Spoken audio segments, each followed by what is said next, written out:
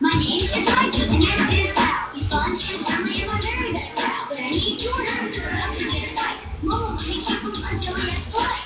My alligator, the matter.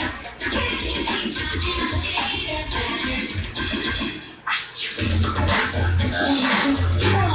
my nana brought Al me to the museum to see the dinosaurs. So are you boys ready to have a dino-rific time? Yeah!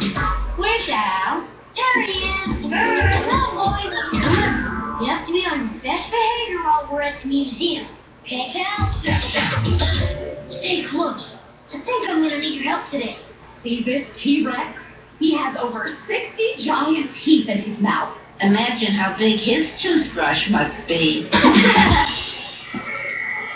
Oh, now, now. Please, do not touch. No, no! Quick! Can you please teach my alligator manners?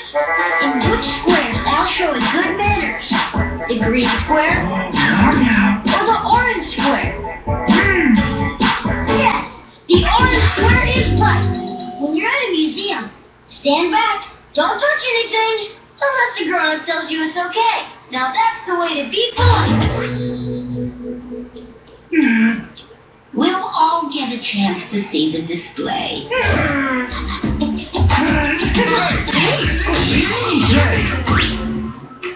Can you please teach my alligator manners? In these squares, I'll show him good manners. The blue square or the yellow square. Good. The blue square is white. When you're in a museum, be patient. Sometimes you have to wait to see something. Thank you. That was my play.